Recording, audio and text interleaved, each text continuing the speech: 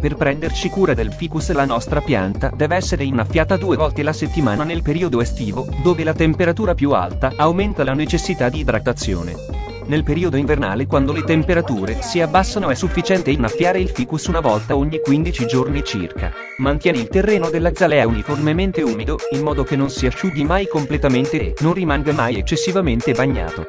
Le piantagioni soleggiate generalmente richiedono più acqua rispetto alle piantagioni ombreggiate, che non si asciugano così velocemente. Uno strato di pacciame organico da 3 pollici aiuta a trattenere l'umidità del suolo e impedire che la temperatura della terra oscilli. Controlla a mano il terreno intorno alla tua azalea e annaffia quando è asciutto al tatto.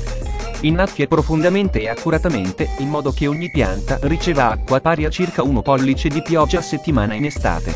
Innaffia lentamente, in modo che l'acqua venga assorbita nell'area delle radici invece di defluire. Evita di annaffiare eccessivamente le azalee. Il terreno fradicio favorisce la malattia delle radici.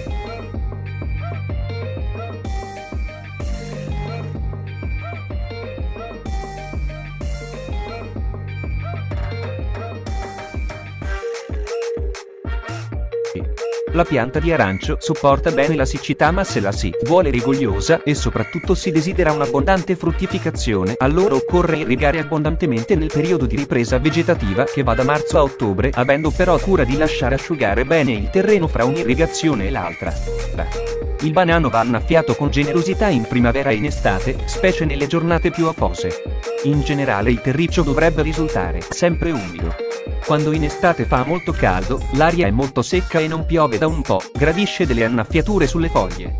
Le grandi foglie andrebbero anche pulire periodicamente dalla polvere che, inevitabilmente, si poserà. Possiamo usare un panno morbido inumidito